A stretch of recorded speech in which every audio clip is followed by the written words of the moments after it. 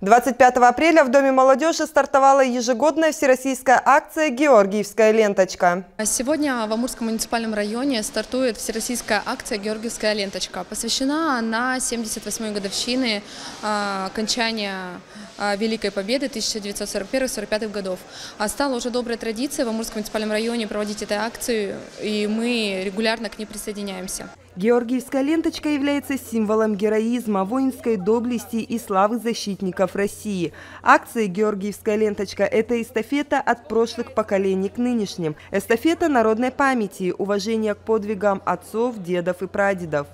Участвуют э, сегодня в старте акции у нас школьники общеобразовательных организаций, студенты Амурского политехнического техникума, ну и, конечно же, приглашенные гости. У нас Совет ветеранов, мы регулярно а, с ними сотрудничаем. А волонтеры Победы сегодня у нас раздают ленточки всем а, гостям. На территории Амурского муниципального района акция пройдет во всех поселениях. В раздаче лент принимают участие волонтеры. В каждом поселении у нас есть и волонтеры, и советы молодежи. В течение акции планируется раздать более полутора тысяч лент. Знаком акции является так называемая георгиевская ленточка, цветовая гамма которой хорошо известна каждому и которая использовалась при создании одной из главных наград Великой Отечественной войны – Ордена Славы.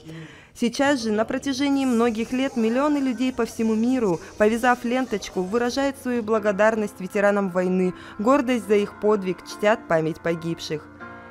Евгения Дудко, Иван Манойленко, телеканал «Амурск».